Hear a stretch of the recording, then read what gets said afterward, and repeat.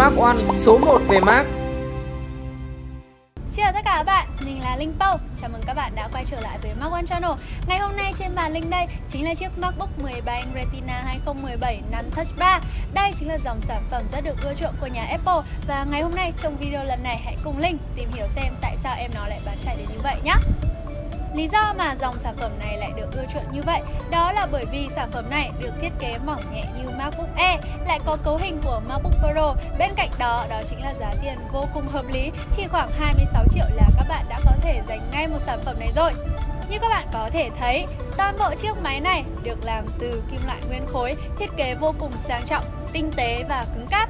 Và điểm nâng cấp của dòng MacBook Pro này chính là nằm ở cân nặng cũng như là độ dày của em nó với độ dày chỉ 14,9mm và cân nặng 1,36kg thì một cô gái chân yếu tay mềm như mình đây cũng có thể cầm nhấc em nó một cách rất là dễ dàng và nhẹ nhàng. Quả táo của chúng ta sẽ không còn phát sáng như những dòng MacBook đời trước nữa nhằm tạo độ mỏng tối đa cho sản phẩm. Và khi mở chiếc MacBook ra, điều khiến Linh choáng ngợp nhất đó chính là phần trackpad vô cùng lớn. Trackpad này của Apple sẽ được tích hợp công nghệ Force Touch cho trải nghiệm có thể coi là tuyệt vời nhất trên sản phẩm laptop. Bàn phím của chúng ta sẽ là Butterfly thế hệ thứ hai do Apple phát triển. Đây là bàn phím có các layout phím lớn, hành trình phím ngắn nhưng lại cho chúng ta một cảm giác gõ cũng như tốc độ khá nhanh, rất thích hợp với dân văn phòng phải đánh văn bản nhiều. So với phiên bản có Touch Bar thì ở phiên bản này, bàn phím của chúng ta sẽ là bàn phím cứng hoàn toàn. Bên cạnh đó cũng không có nút nguồn được tích hợp cảm biến vân tay. Ở bên cạnh sẽ là hai giải loa và thực sự loa ngoài của Apple trên sản phẩm này rất hay, âm lượng to, trong trẻo, chất lượng âm thanh phải nói là xuất sắc nếu so với các sản phẩm laptop khác hiện nay trên thị trường.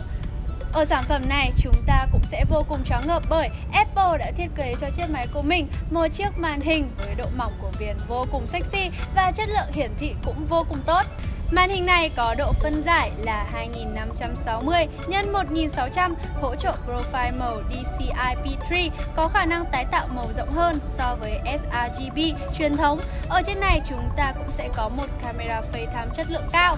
Ở cạnh phải của chúng ta sẽ có một cổng 3,5mm, cạnh trái của chúng ta sẽ có hai cổng USB-C. Như vậy là so với phiên bản có Touch Bar, sản phẩm này ít hơn hai cổng USB-C, nhưng trên thực tế các bạn mua bản có Touch Bar thì vẫn sẽ phải mua thêm adapter để mở rộng các cổng kết nối của máy. Do từ đời 2016, Apple đã lược bỏ tất cả các cổng kết nối truyền thống cũng như khe cắm thẻ nhớ. Đây là một điều Apple phải làm để làm cho thiết bị của mình mỏng hơn. Về cấu hình thì chúng ta sẽ có tùy chọn là vi xử lý Intel Core i5 hoặc Core i7, RAM 8GB hoặc 16GB, ổ cứng SSD với các tùy chọn là 128, 256, 512GB, card đồ họa tích hợp Intel Iris Graphics 640. Nhìn chung đây là một cấu hình cơ bản, các bạn có thể chỉnh sửa đồ họa ở mức trung bình khá. Về pin thì theo thời gian sử dụng thực tế, máy đáp ứng cho mình 10 tiếng làm việc liên tục. Đây là thời gian sử dụng vô cùng ấn tượng so với các sản phẩm khác trên thị trường hiện nay.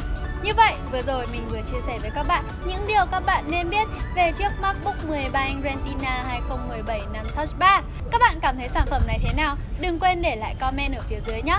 Nếu các bạn cảm thấy video này bổ ích, đừng quên để lại một like, một share, một sub cho Linh nhé. Xin chào và hẹn gặp lại các bạn ở những video lần sau.